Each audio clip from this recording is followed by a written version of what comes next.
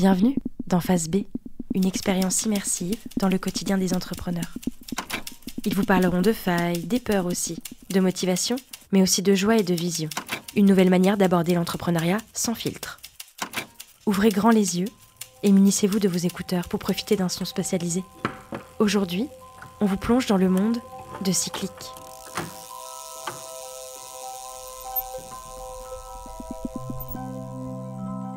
Qu'est-ce qui est le plus surprenant dans le parcours entrepreneurial Ah, la capacité de rebondir.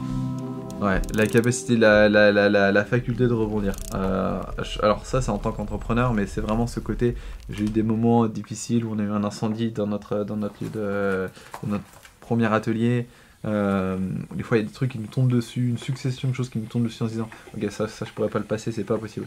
Et finalement, euh, il y a des petits détails, il y a des, il y a des, il y a l'entourage, puis on arrive à retrouver des ressources au fond de nous, et, en se disant ah si c'est bon en fait, euh, je peux y arriver. Et c'est ça aussi qui, est fascinant dans l'entrepreneuriat, et même c'est des, des, capacités je pense des entrepreneurs, c'est à toujours retrouver le côté un peu positif et se dire ok c'est bon je... Ah mais je peux faire comme ça en fait, je vais y arriver. Un, truc qui nous paraissait insurmontable la veille, le lendemain on, y va avec un grand sourire en se disant ah, c'est bon j'ai trouvé la clé, je vais y arriver. Alors, je m'appelle Félix Hébert, euh, j'ai 33 ans et je suis fabricant de cadres de vélos. Euh, donc, mon activité, c'est fabriquer euh, des vélos qui sont en matière végétale. Donc, c'est des vélos que je fabrique à partir de bambou, de lin, des vélos que je fabrique dans la région lyonnaise. et donc, l'objectif des vélos cycliques, c'est de fabriquer des vélos qui sont adaptés à la morphologie de nos clients. Donc, c'est des vélos qu'on fait sur mesure qui vont aussi être adaptés euh, à la pratique de nos clients. Euh, savoir euh, s'ils veulent un vélo de voyage ou un vélo de, course, on va adapter le vélo en fonction. Et donc on va monter les cadres qu'on fabrique avec des, équipements spécialisés pour qu'ils puissent avoir un vélo complet.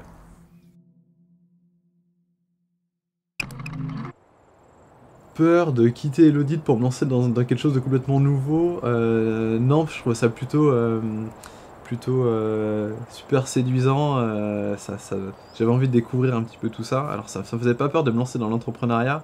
Euh, le, côté financier, ouais, si, ça m'a fait vachement peur. Parce que du coup, effectivement, je, quittais une situation super stable.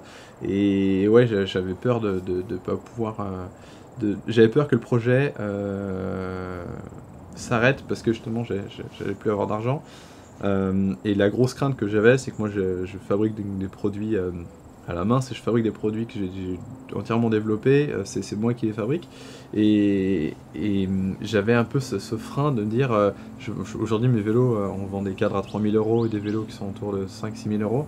Et j'avais un peu cette barrière de me dire, presque de la peur de vendre en fait au début, de vendre mon produit. Et la crainte de se confronter plutôt au marché de de mettre en avant un produit qu'on a soi-même créé. Euh, et c'est ça que je craignais le plus, c'est d'exposer de, en fait, de m'exposer, d'exposer le produit et, euh, et, du coup d'une certaine façon euh, de bah, moi en fait, c'est moi qui l'ai fabriqué. Donc vraiment c'est l'incubateur m'a aidé à faire la, la différence entre le produit que je, que je faisais et enfin de, moi personne en tant que chef d'entreprise et le produit en lui-même en fait. J'ai dû ensuite effectivement quitter mon boulot, qui était pas une étape non plus trop trop simple. Euh, je suis parti de mon cabinet d'audit en septembre 2016 et à partir de ce moment-là, euh, donc les deux premières semaines, je me suis retrouvé dans mon salon où là j'ai trouvé ça génial. Je me suis dit bah c'est excellent. Euh, je fais ce que, ce que j'aime, en tout cas je me projette beaucoup. Et au bout de deux semaines, je me suis dit, oulala, mais là maintenant je suis tout seul dans mon salon, je veux pas que ce soit comme ça tout le temps, j'ai plus de collègues, un peu l'excitation du début commence à retomber. Et donc là, je me dis, ok, ben, commence à essayer de, t'entourer, euh, d'avoir du monde avec qui bosser. en fait, euh, je pense que déjà tout seul, enfin, l'idée n'est pas confrontée, on a plein de, on a plein de, barrières. Euh, je pense qu'un entrepreneur, son principal frein, c'est lui-même. Donc, on, a, on a plein de barrières en nous qu'il faut qu'on arrive à, dépasser ou à casser ou des portes à ouvrir qui a été le plus dur pour moi euh, depuis la création du coup de cyclique jusqu'à aujourd'hui, ça a vraiment été euh, ouais, faire face aux incertitudes. Les, les incertitudes en termes. Euh, alors, de plein de natures différentes. Hein. Ça va être de savoir si on va réussir à vendre nos produits, si nos produits vont être bien, bien reçus sur le marché, typiquement, ça c'est des freins dont je parlais tout à l'heure, euh, de, savoir comment va se développer l'entreprise, de, de, savoir si... si en fait, ce qui est compliqué, c'est l'incertitude sur le, sur le futur, et en même temps, c'est aussi ça qui, qui, qui, est stimulant. Si je savais de, demain, de quoi demain allait être fait, bah euh, ça, ça, ça, ça m'ennuierait, ce qui m'ennuyait dans l'audit. Mais, mais c'est quand même super dur, l'incertitude de l'entrepreneuriat. Alors il y a eu un moment particulier où j'ai pas mal douté de, la suite chez Cyclic. C'est euh, en fait j'ai eu un incendie, euh, mon local a brûlé. Je me trouvais dans une pépinière d'entreprise où une des entreprises a brûlé. Et, ça, tout le bâtiment s'est écroulé. Euh, et donc ça c'était un moment un peu particulier parce que euh, parce qu'en fait voir son atelier en flammes et retrouver tout son atelier dans un camion, euh, ça m'a fait pas mal douter sur la suite de Cyclic, sur la, capacité à rebondir. C'est une période où j'ai eu d'autres problèmes dire d'intégration dans un réseau où je, voulais où on pouvait avoir des fonds.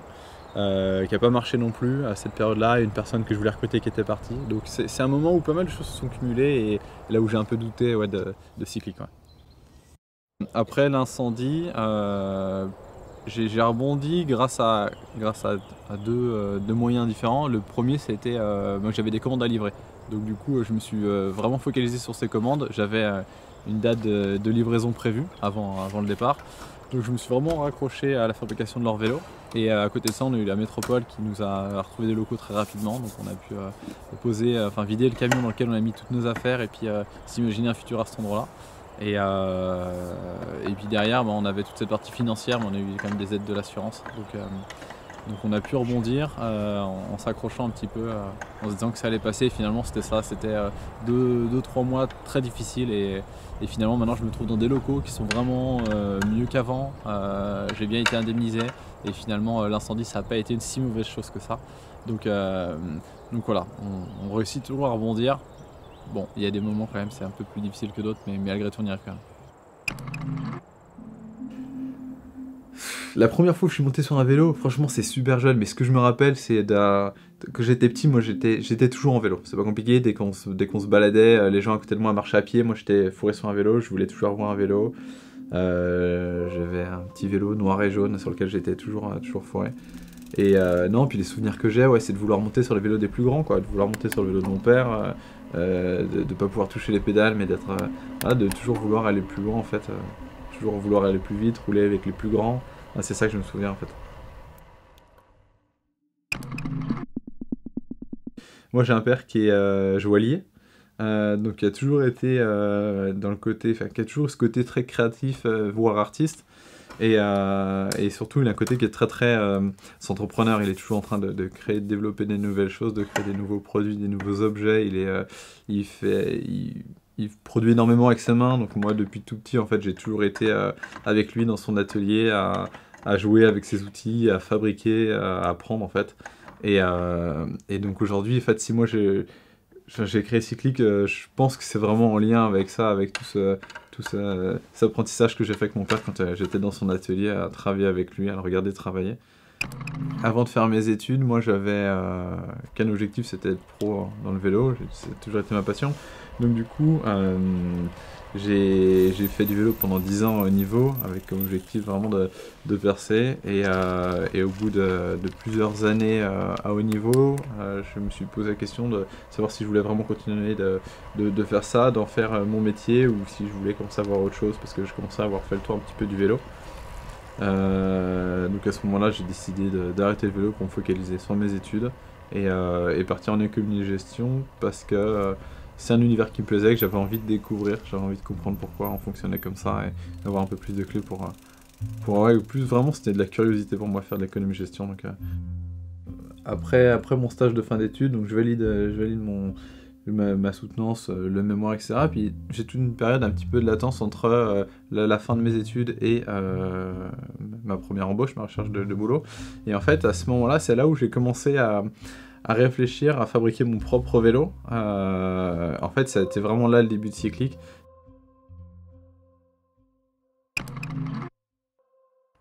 Euh, prévoir d'avoir un enfant quand on est entrepreneur et qu'on travaille énormément, qu'on travaille le week-end, etc. Euh, c'est un peu, euh, c'est un peu stressant parce qu'on sait que ça va nous prendre beaucoup de temps. Euh, moi, j'avais vraiment le désir d'être père, donc c'était même pas une question en fait, mais c'est dire comment est-ce que je vais pouvoir faire les deux. Et finalement, il y a, comme je, l'ai dit pas mal de fois, il n'y a, a, pas de bon moment pour pour être parent quand on est entrepreneur. Le, bon moment, c'est un peu tout le temps. C'est-à-dire que quand on a un enfant, et eh ben, et eh ben on, lui consacre du temps.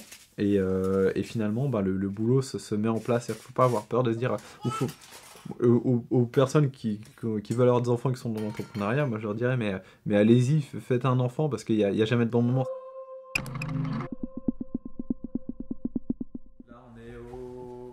On a fini le deuxième ponçage, on va passer au troisième. Donc là tu peux toucher, on est vraiment sur quelque chose qui est hyper rugueux. Esthétiquement en fait, de loin on ne voit pas vraiment, mais en fait il y a une énorme différence avec celle-là. Et euh, là, on pourrait rouler avec un vélo comme ça, mécaniquement, il est bon. Mais par contre, euh, bah, esthétiquement, ça nous plaît pas.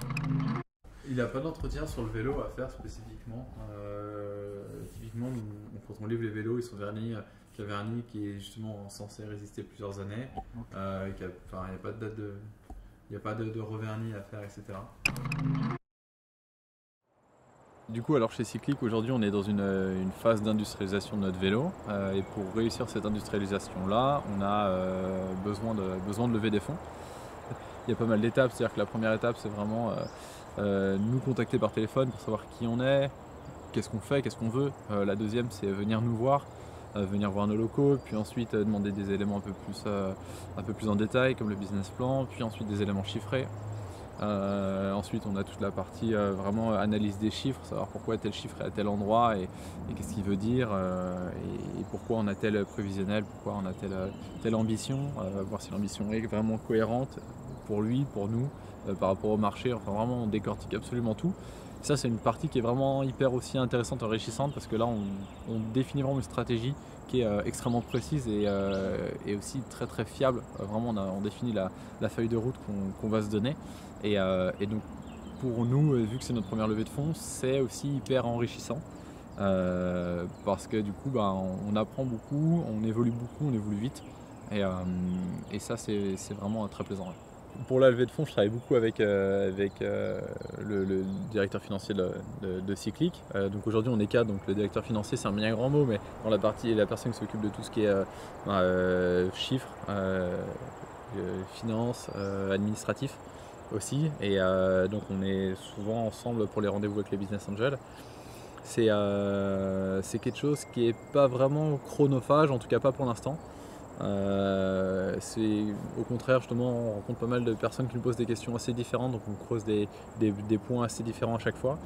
Euh, après ouais c'est aussi une période assez stressante dans le sens où euh, nous on a besoin de faire cette levée de fonds pour euh, mener à bien notre, notre plan de développement. Ça ne nous empêchera pas de continuer de, développer cyclique, euh, mais par contre si on veut vraiment avancer rapidement comme on l'a prévu, on a besoin de cette levée de fonds. Donc effectivement on a une deadline, c'est assez stressant, mais je trouve ça plus stimulant que stressant pour l'instant. on n'est pas encore dans les, moments vraiment où, les investisseurs doivent nous dire oui ou non, et on est vraiment dans les rencontres. Et bah, moi les rencontres c'est vraiment ce que j'aime aussi chez Cyclic. Donc pour l'instant, c'est quelque chose qui me, plaît beaucoup. L'entrepreneuriat, c'est comme une euh, course à étapes. Voilà. Et en fait, c'est une course à étapes avec énormément d'étapes. Et il y a des lignes d'arrivée à, chaque petite victoire. Et, euh, par contre, euh, il y a toujours une étape après. Il faut toujours repartir. L'entrepreneuriat, c'est vraiment quelque chose qu'on porte au fond de nous. Et c'est tout ce travail qu'on a vraiment, qu'on fait en permanence à l'intérieur de nous-mêmes. C'est-à-dire que quand un entrepreneur qui a un produit, on voit le produit. On se dit, ah, ben c'est ça qu'il a fait comme produit. en fait, c'est bien plus que ça. C'est euh, euh, toute l'énergie qu'il a, qu'il a mis dedans, euh, depuis la genèse du, projet, ouais, tout ce qui est caché. c'est ça un petit peu la, face cachée de l'iceberg. C'est ce, qu'on ce que l'entrepreneur au fond de lui, en fait. Voilà, tout le, ce, qui le, ce qui le pousse à mettre ce produit-là sur le marché, à donner autant d'énergie dans son, dans son, son entreprise. L'entrepreneuriat, c'est aussi un super moyen d'aller chercher au fond de soi, de savoir qui on est vraiment. Moi, c'est encore une fois, c'est ça que je trouvais dans le vélo. ça, ça prend, on sait, on sait qui on est, on sait, euh, sait jusqu'où on est capable d'aller. Euh, euh, on connaît vraiment bien son corps en fait quand on fait du sport de niveau. Et ben quand on fait de l'entrepreneuriat, on apprend aussi vraiment vraiment bien à se connaître. Et plus que son corps physique comme dans le vélo, c'est aussi sa, sa, sa, capacité euh, de, de, même de, de résilience, d'adaptation. Euh, de, ouais, on apprend vraiment à se connaître au fond de soi. C'est ça qui est, incroyable dans l'entrepreneuriat les, craintes que j'ai pu avoir, mais je pense que c'est une crainte que j'ai encore aujourd'hui et j'aurai encore demain, c'est la crainte de, de, voir son entreprise s'arrêter, de, voir son entreprise couler en fait. Et de. Alors, une entreprise, je parlais avec quelqu'un qui m'accompagnait qui m'a dit, mais de toute façon, euh, affranchis-toi de ça parce qu'une euh, entreprise, ça meurt quoi qu'il arrive. Une entreprise meurt au bout d'un moment. Alors que ce soit au bout d'un an, deux ans, 50 ans ou 100 ans, l'entreprise dure jamais. Enfin, une entreprise, il y a toujours une date de début, une date de fin. Et au milieu de ça, bah, en fait, il faut avoir du fun ou en tout cas, faut, faut euh, arriver à tout faire pour qu'elle se développe l'entreprise. Donc, tout donner. Mais voilà, il y a toujours une date de fin.